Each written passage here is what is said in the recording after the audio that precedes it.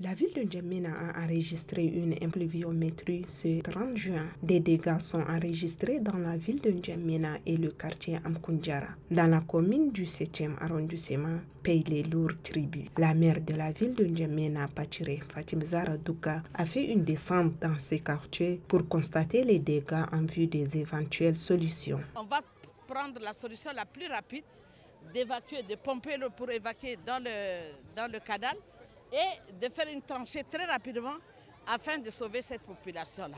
Et on mettra de gros moyens pour essayer de faire un truc définitif pour sauver cette rue-là. La maire de la ville d'Indjamena rappelle à l'ordre les habitants de ce quartier et leur demande d'être des citoyens exemplaires, surtout en ce qui concerne l'assainissement.